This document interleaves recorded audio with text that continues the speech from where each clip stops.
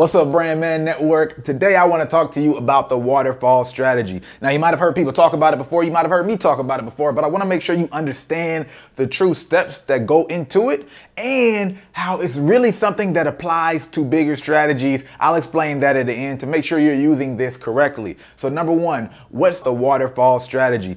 On Instagram, for example, and you want to help something blow up and get traction on Instagram as opposed to just posting on one big page or just posting on some small pages, it's combining the two, right? First, not only do you post on a larger page, the idea is to then, after that, post on smaller pages because when the larger page posts you, the smaller pages become more likely to actually post your content because these people are always looking for something to actually blow up. They want videos and content to get good traction. So when you reach out to these smaller pages that are trying to get bigger, once they see a big page posted, then they're saying, oh, you know what? I need to go ahead and post this so I can catch the wave before the wave, you know, passes me by. They're always looking for those things. That's one thing that goes into it. And sometimes you'll even find smaller pages will post you for free just to make sure they don't miss the wave. But that's not a guarantee, so don't necessarily plan for that. Just be open to, you know, the nice surprise.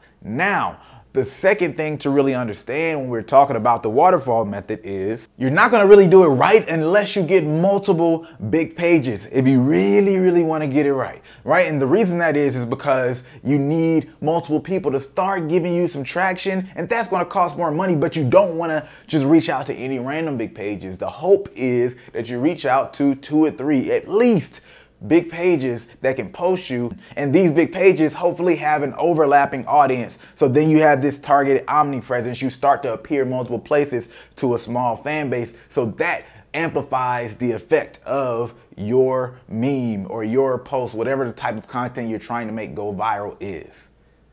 But the third and last but not least to really understand about the waterfall method is when we talk about big pages and even starting with big pages, you gotta realize there's levels to this thing. You don't necessarily have to start off with a page that has 3 million followers when we say big pages. Big is relative. So if you have, you know, 500 followers, only 1,000 followers on whatever social media that you're using, reaching out to a page with 100K might be big for you at this level, right? So maybe you're reaching out to three pages that have 100K, and then you start reaching down to five, K or 50K and all these other levels because that's going to give you a boost hopefully from 1,000 to maybe 3,000 to 5,000, right? You can do this thing in levels. You don't have to just think of this uh, strategy as something you have to wait till you can afford to pay for these huge pages. That's besides the point you actually are self-aware enough to realize where you are in the process. You don't have to hit a home run. That's where most people fail. They try to go for the home run and they could get a lot of nice base hits until they eventually make their way all the way around instead. This isn't the one cheat code that's just gonna change everything forever. So keep that in mind. Other than that, that's it. Let's get it.